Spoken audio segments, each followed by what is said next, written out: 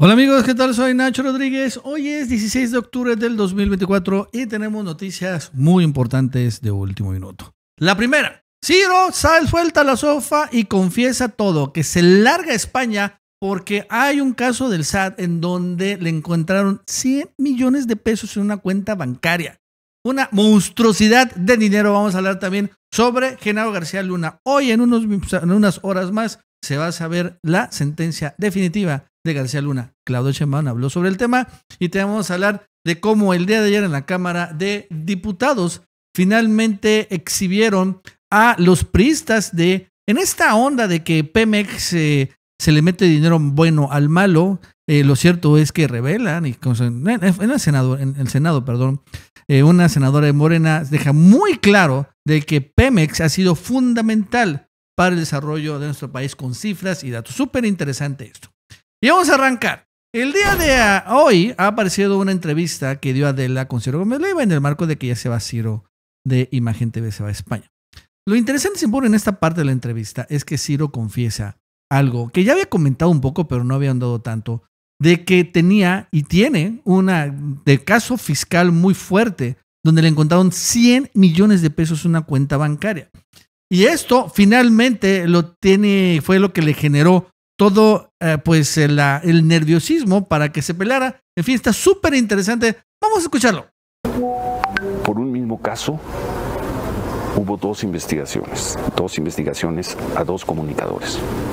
Es él y López Dóriga. Después, años después, por ese mismo caso, que era una forma en la que pagaba un grupo, pagaba grupo Fórmula, iniciaron auditorías dos. Yo era uno de ellos, ahora te digo quién fue el otro. Y años después, tres o cuatro años después, eh, también revisaron a los demás, pero los llamaban para hacer acuerdos, a ver el acuerdo y fórmula. No en el caso de usted. No, no. A Joaquín y a mí. A Joaquín y a mí fueron por nosotros, pero además iban mi gente al SAT y le decían, le decía, oye, ¿cómo le están cobrando un IVA de algo que no cobró? Es que hay instrucción de fregárnoslos. Bueno, me exigían ya con toda la documentación entregada que justificara. Me decían, tiene que tiene 98 millones de pesos no justificados en su cuenta de Banorte. 98 millones de pesos en una cuenta bancaria sin justificar. Se nota que tenía un esquema de outsourcing, por lo que entiendo. Finalmente le paga fórmula a través de algo que se llama similares a salarios y tenía 98, 100 millones de pesos ahí. Pero bueno, todo esto es un esquema fraudulento. Yo decía, ¿de dónde? ¿Dónde están? Pues tenía un pagaré con vencimiento a 28 días, quizás 5 millones, 6 millones de pesos, cuando los intereses estaban a 3%, que vencía cada 28 días. Entonces yo le decía a la gerenta de la sucursal, que era una... ¿De dónde salió? No, me mandaba un mensaje, vence el miércoles. Ahí vemos la estrategia fiscal, ¿no? A través de un pagaré con vencimiento, así le están pagando. Son, son estrategias fiscales entre la fórmula y él para no pagar impuestos. Ese es de, de, de, eso se trata todo, pero bueno, está interesante. Vamos, renueve. Entonces tienes el dinero en el pagaré, vence y los 4, 5, 6 millones caen a tu cuenta de cheques y de inmediato se regresan. Bueno, cada vez que cuentan te lo registran. Entonces me lo sumaban y me daban 24 horas para justificar. Pero lo, lo peor de todo esto es que después de que terminaron la auditoría, nos entregaron el documento, lo revisamos, lo revisó mi, un extraordinario abogado fiscalista y me dijo, podemos pedir el acuerdo conclusivo con el SAT. Mm. El acuerdo conclusivo es, te marcan siete rubros, es una cuenta digamos, con siete platillos que tienes que pagar. Aceptas el 1, el 2 y el 3 y pide revisar el 4, 5, 6 y 7. El SAT aceptó. Septiembre 15 del 2021. Entonces estamos en acuerdo, así se llama, acuerdo para concluir uh -huh. la auditoría. Iba a terminar, ellos nos iban a dar respuesta en octubre, no nos dieron la respuesta en octubre, pidieron una prórroga. Prórroga y sigue corriendo los intereses ¿eh? sobre la cantidad. Sí, claro, claro, claro. Iba, iba, a concluir en noviembre, prórroga otra vez. ¿Cómo? Sí, pues es que ya sabes, aquí hay instrucción de ahorita no terminar el caso. Creo que el 12, 13 de diciembre eh, del 2021 eh, otra vez se van a prórroga. Y además cada prórroga eran sí, 150 mil sí. pesos mensuales. Sí, claro, claro. Y el instrumento... 150 mil pesos mensuales nada más de intereses. Nada más de intereses. ¿Cuánto tiene que haber de, de debido tener, eh, le, le, sacaron la cuenta eh, Ciro para que pague 150 mil pesos mensuales de intereses? Y sigue y mete a, yo creo que es Adán Augusto. Vamos a escucharlo.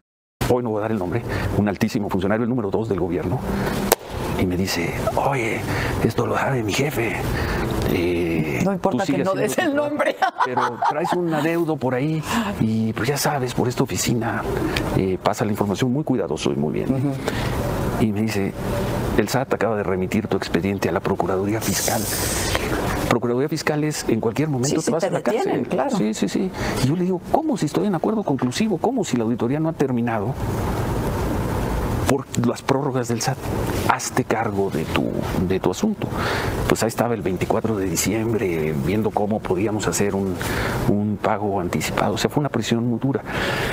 El- en la Navidad del 22, después del atentado, con mis seres más queridos, yo les dije, solo ustedes saben que esta Navidad, pese a todo, estoy más tranquilo que la del año pasado. Sí. Pese al Entonces atentado. no eran nada más, no eran nada más los insultos, no eran nada más las agresiones, no era más que te dijeran corrupto y denigras al periodismo, fueron también, también acciones. ¿no? Con todo el poder Finalmente, finalmente se movieron bien los abogados y la auditoría pudo concluir pagando una barbaridad. Bueno, o sea, concluyó porque tuvo que pagar sus impuestos, ¿no? Pagando una barbaridad, pues sí. ¿Por qué? Por el esquema de outsourcing. Ya Joaquín te contará, pero él vivió algo parecido. ¿Te sorprendió Embarradoria. viniendo de López Obrador? No, no, él es un hombre de poder y él ejerció todos los instrumentos de, de poder. Bueno, ahí sigue. ¿Cómo la ven? ¡Wow! ¡Qué revelación! 100 millones de pesos le cacharon a Ciro Mesleiva. Con, y es, repito, estoy seguro que fue así. O sea, la agarraron entre Radio Fórmula y Ciro Gómez Leiva, el esquema de outsourcing, cómo le pagaban a Ciro para que él no pagara impuestos a través de pagarés y toda la cosa. El SAT revisa y dice, bro, esto tienes, tienes impuestos por ello. Él empieza a pelear y no quiere pagar y al final fue tanta cantidad de dinero que repito que paga 150 mil pesos mensuales nada más de intereses. Nada más de interés, estoy sorprendido. ¿Cuánto va a ser la monstruosa cantidad de dinero que tenía y debía? Y Dóriga también está ahí. Por eso están enojados. Porque Obrador, Obrador realmente nunca los persiguió a nadie de ellos. Pero sí, como lo vimos, sí tenían que pagar sus impuestos. De eso ahí sí fue implacable. Implacable. Y tú pagó sus impuestos. Pagó sus impuestos. Y es interesante dice que después del atentado, esa Navidad, después del atentado, estaba más tranquilo que cuando el SAT estaba buscándolo para pagar esta monstruosa cantidad de dinero. Bueno, el día de hoy, aquí está Keegan Hamilton, uno de los más importantes reporteros sobre este tema. Ya se va a dar a conocer la sentencia. Hola desde el Distrito Este de Nueva York, donde el ex jefe de seguridad de México, García Luna, está programado para ser sentenciado esta tarde, más o menos entre 2 y 3 de la tarde. Se enfrenta a una posible cadena perpetua por aceptar sobornos de los cárteles. Ahora la pregunta es, ¿quién será el siguiente? Bueno, yo sé quién no va a ser el siguiente. No va a ser el siguiente Ovidio Guzmán, que ya tiene su acuerdo. Probablemente sea el mayo, donde también va a arrancar, porque esto es una, se dan cuenta, una drama. Entra Joaquín, lo sentencian y bueno, ya. Detienen a Genaro, lo van a sentenciar y ahora tenemos el nuevo drama, la nueva temporada que es el Mayo Zambada. En la misma corte. Es, uno, es un mismo show. O sea, finalmente sí tienen, como les diré, de una manera permanente el tema del narco México, con los mismos personajes, por cierto. Pero bueno, ahí van poco a poco. Vamos a entrar en el tema del Mayo y van a hablar de lo mismo, con el mismo juez, en el mismo lugar. Este es, parece una sitcom, ¿no? Una de estas este, comedias estadounidenses que nada más solo le sigan un- algunos personajes, pero la mayoría son los mismos. El set es el mismo. En fin. Por eso hoy Claudio Chamán habló sobre Genaro, porque ayer Genaro García Luna dio a conocer una carta donde él, bueno, se hace la víctima. Dice que él es un gran hombre mexicano, padre de familia, esposo, y que bueno, siempre ha sido honesto. La verdad es que San Genaro García Luna, Claudio Sheinbaum lo dijo muy claro, es un total absoluto cínico. Mucho cinismo, ¿no? La verdad. O sea, ¿quién es Genaro García Luna? Aquí el presidente López Obrador habló de que incluso la fiscalía tiene una investigación de que está involucrado con el segundo, con esconder al segundo tirador del asesinato de Colosio, trabajando él en el CISEN. llega a ser, bueno, con Fox de la AFI creo que era, ¿no? De la Agencia Federal de Investigación. Y luego llega a ser secretario de Seguridad. Y un jurado en Estados Unidos, o sea, la una fiscalía de Estados Unidos y un jurado de Estados Unidos, da pruebas de su vínculo con el narcotráfico y de los beneficios que él tuvo por estar vinculado con el narcotráfico. En un momento en donde se había decretado una guerra contra el narco.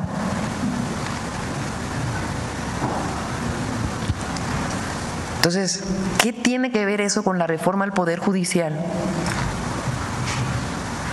¿O quién es García Luna? ¿Qué autoridad moral tiene?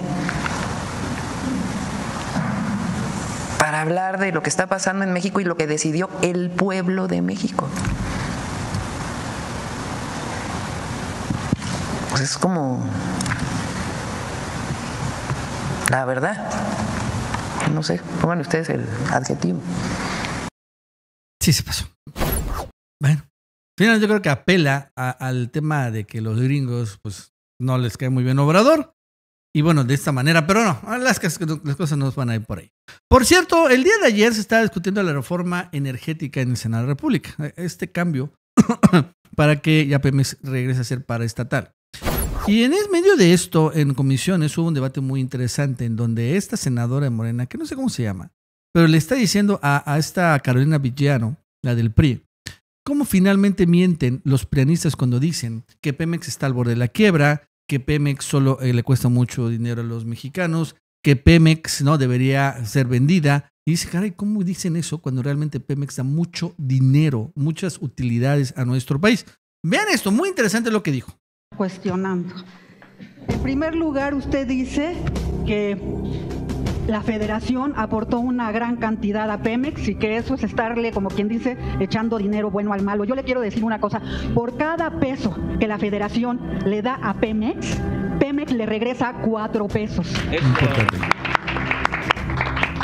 casi por cada peso de lo que es, de lo que significa el presupuesto de la federación, Pemex lo que está haciendo es casi una quinta parte de todo el presupuesto de la federación. Por lo tanto, de ninguna manera podemos decir que Pemex está quebrada. Si alguien la quiso quebrar, fueron los gobiernos neoliberales, que lo que hicieron fue endeudarla. Ni más ni menos que en el caso de Felipe Calderón, la endeudaron igual que Peña Nieto, llegaron casi al 100%, ni más ni menos que en el caso de Felipe Calderón y de Enrique Peña Nieto, este, empezando por, eh, por, Felipe Calderón, eran 68 mil millones de dólares. Y cuando acabó Enrique Peña Nieto, ¿sabe cuánto tenía? 132 mil millones de dólares. Es decir, casi un 100% le endeudaron. Y posteriormente, ¿qué hizo este gobierno? Desendeudarla, casi un 24.9%. Es decir, ahora tenemos 99 mil millones de dólares. Usted dijo en su primera intervención que eran 100 mil millones de pesos, no, de dólares es lo que tenemos de la deuda. Pero este gobierno lo que hizo fue desendeudar a Pemex, no endeudarlo como ustedes lo hicieron. O sea que no tiene cara para decir que está quebrado.